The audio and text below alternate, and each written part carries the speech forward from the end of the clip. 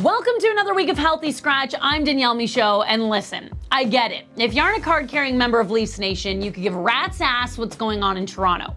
But Babcock getting the boot's big news regardless of which team you cheer for. Except that's not what I want to talk about. I want to talk about Pierre Engvall for a couple of reasons. First, friend of the show and PA voice of the Marlies, Simon Bennett, reminded us via Twitter that on Sunday, Pierre was named first star of the game thanks to this. Engvall across the line. Engvall comes out wide, takes a shot, he scores! Pierre Engvall! Engvall gets called up on Tuesday, and two days after that, does this in Arizona. Pierre Engvall, short-handed, Engvall, and scores! Not since 1965 has a Leaf scored his first in the show shorthanded. You may have also noticed Sheldon Keefe, head coach in both instances. Things can change quickly. But even better was the celebration. Engvall said after he was so happy, he tried to do something special. It's definitely special, memorable in fact, and who knows, maybe it's catching on. We're dedicating this edition of Mich Plays to the fans, like good guy Vlad Kamenev giving a puck to the little guy, throws it up, misses, not enough juice, takes a whack, and falls on his face. What a glorious sequence of events. At least he can laugh about it. And a push up punishment since he couldn't get the job done. Because the fans are always involved, like this sweet pea who took the restaurant's receipt and wrote Bruins on it. This girl, not totally filled in yet about how hockey works, but that's okay. We're working on it. This guy knows what's up. He thinks we're actually down. No idea what's going on here. And uh, my producer Steph giving me the flip. Thank you very much. It's our 10th birthday. Okay. Yeah, kids so impressionable, right? These two watching the stands, the Sabres game, and Mini Jack starts to get in on the action himself. Figures he'll use some fists of fury like his buddy on the ice. That's exactly what mom and dad want to see, right?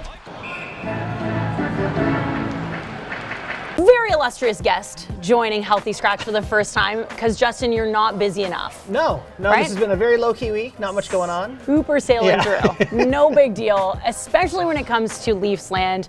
Love them or hate them, there's been lots of chaos the last couple months. Is that a good way to put it? Yeah, I think that's perfect. So I asked you to compile five ways you think that Toronto can salvage this season and turn it around for the better. And the very first one you said, which is an obvious one to people who are watching, special teams. Yeah, well, they they're a weird team because they have so much elite talent. So you think their power play should be you know world beating, but they're in the bottom half of the league in terms of power play goals. Um, their penalty kill is uh, the opposite of good. I would go ahead and say uh, that would be terrible, actually. Okay. And they don't, you know, that's not an easy fix. I'm not sure that they have the personnel to even fix that problem specifically. But you just you can't be a great team in this league when your special teams suck. Yeah. Um, so definitely at the top of my. That's why we're talking about it first. Uh, they need to unsuck their their special teams. unstuck the special teams like that, working on that. It's a good start. Uh, they also need to protect the house. And when you say that, I'm thinking you mean the types of shots that they're facing, try to eliminate those. Yeah, the Leafs have been scored on more than any other team in the NHL this year. So it speaks to the fact they don't defend well. So if you can get William Nylander to block more than say two shots in 23 games, which is exactly how many he's blocked, that would be Yeah. ideal. So uh, that's something they need to prioritize in their own end, just taking care of that area of the ice. Now, William Nylander, considered one of the elite guys, should be at least for the money that they have given him, Yeah, along yeah. with Matthews, Marner, JT. And those guys can't just be good. No.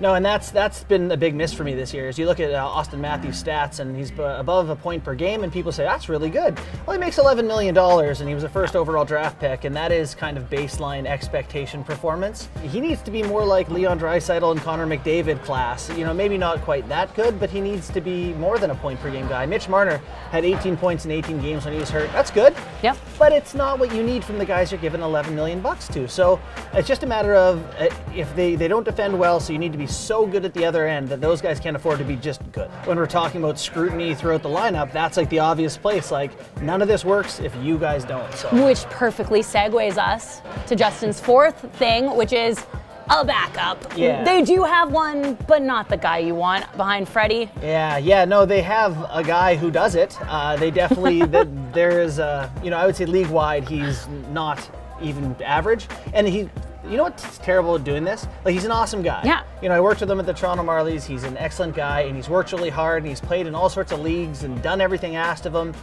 I just don't think he's he's a suitable backup for this team. They're going to ask their backup to play 20 games this year, uh, you know, roughly around there anyway, and, and they just can't afford to lose them all. They need to plug that hole. Tristan Jarry in, in Pittsburgh Yeah. uh, is, is probably a, a target for them, but unfortunately, you just need someone who doesn't make a lot of money, again, because of that salary cap issue. So we don't want to look too much into their 3 1 win with Sheldon Keefe as the new bench boss, but it's hard not to notice the one thing that I saw throughout the game.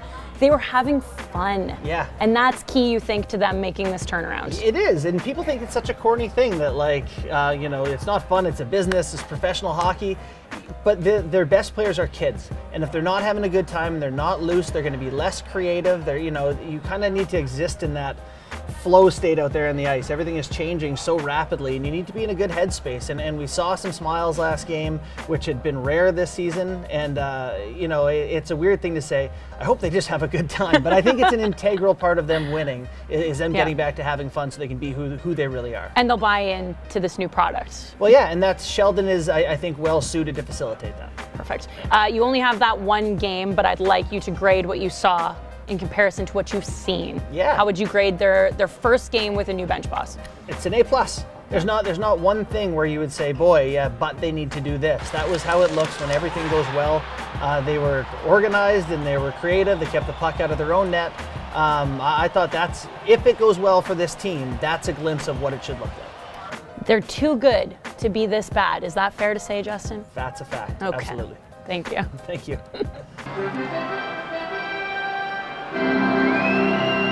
Huge stick tap and maybe a hug to Keith Yandle. In their game against Carolina, he's clipped by a dump in and lost nine teeth.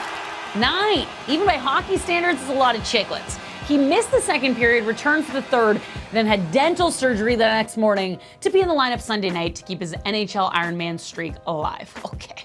Now, speaking of streaks, stick tap to the Islanders, who are so freaking good, they can go 0 6 on the power play, have an entirely underwhelming performance against the Sharks, and still keep that franchise best point streak rolling up to 17 games going into Monday's action. Finally, stick tap to WWE's Renee Young, who gave hockey play by play a go Saturday in Vegas from the booth. Check it out.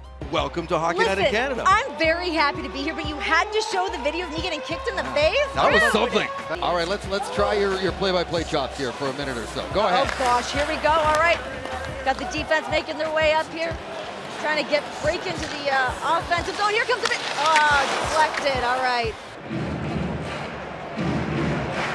Before I let you go, one other thing I wanted to mention. Nice to see TJ Brodie back on the ice. Such a scary situation in Calgary. So happy to see him in practice again with his teammates. Other than that, you know the drill. We need you to like, comment, subscribe. Hopefully, you enjoyed this edition of Healthy Scratch, and we'll always see you next week. Peace.